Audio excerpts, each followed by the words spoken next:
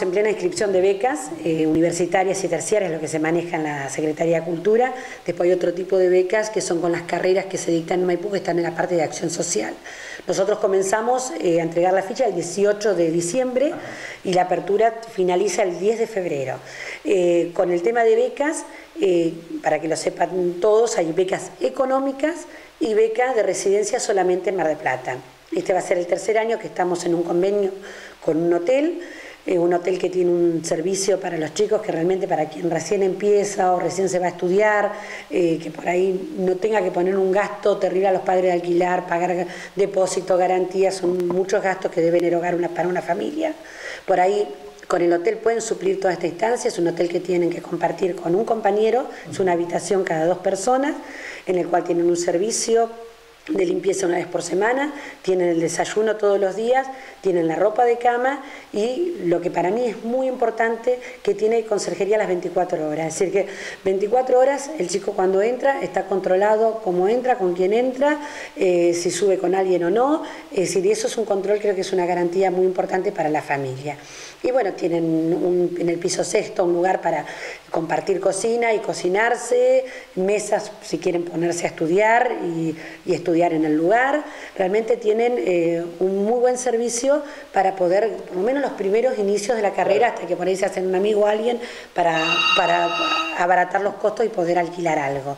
Eh, yo creo que es muy importante, son cuestiones que a veces no se miran pero que hacen muchísimo al, éxito y a, perdurar, porque bueno, los costos eh, en cada familia, eh, un hijo estudiando te duplica eh, el, gasto, sabemos que es una inversión que un hijo estudie, pero bueno, es muy duro el, camino este y bueno, hay, hay cuestiones que pueden ayudar a que sea de una mejor manera, más teniendo una residencia. Y si no, después va a estar la beca universitaria, que todavía no tenemos el monto que van a cobrar. Este año fue de 2.000, vamos no sabemos cuánto es todavía estipulado el monto de este año.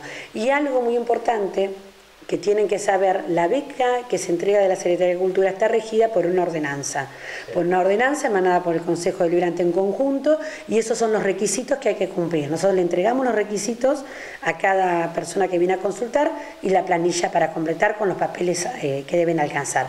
Lo que pedimos que vengan cuanto antes, que no se amontonen a la última semana, para que la visitadora social pueda recorrer su hogar, pueda eh, tomar los datos y ya poder elevarla para poder ir evaluando cada situación con tiempo y no se alargue tanto en el proceso.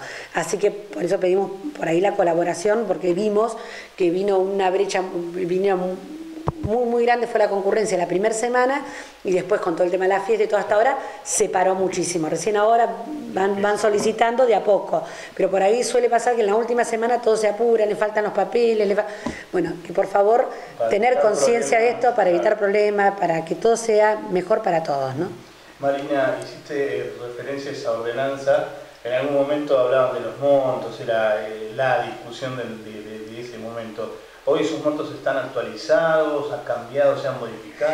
Esos montos se actualizan año a año. No, no. El primer año, cuando todavía no estaba la ordenanza, eh, lo ponía el intendente al monto y había puesto 15.000.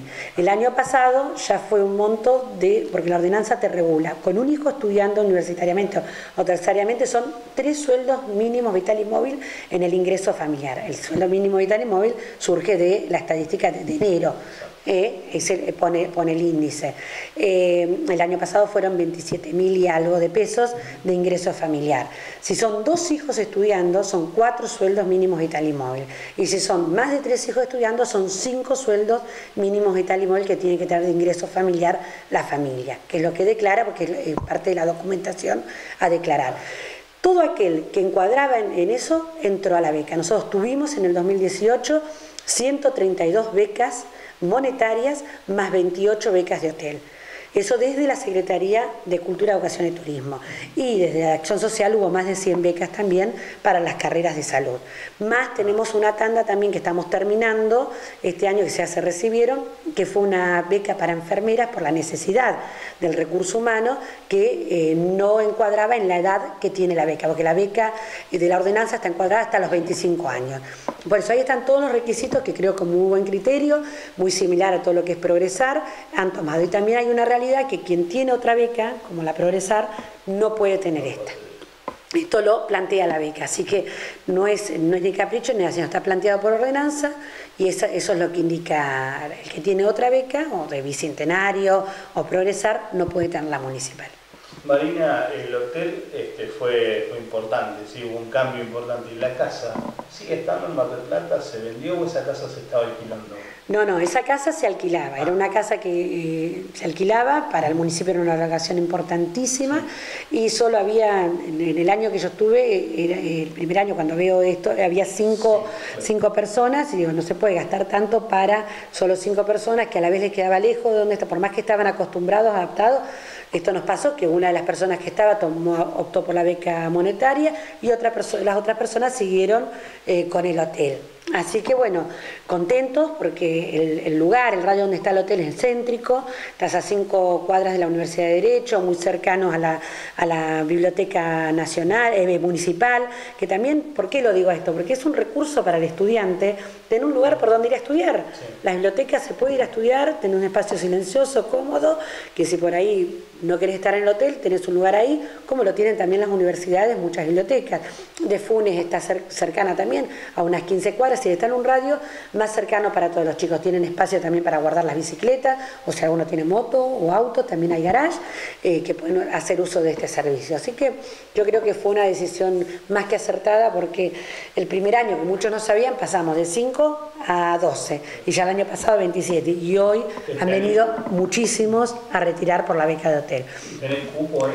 Con los conflictos que genera la convivencia, eso, eso no lo vamos a, cambiar, que uno desearía, ¿no? Que esas cosas no existieran, el que por ahí le saquen la comida a uno, le saquen Esas cosas suelen pasar en las convivencias.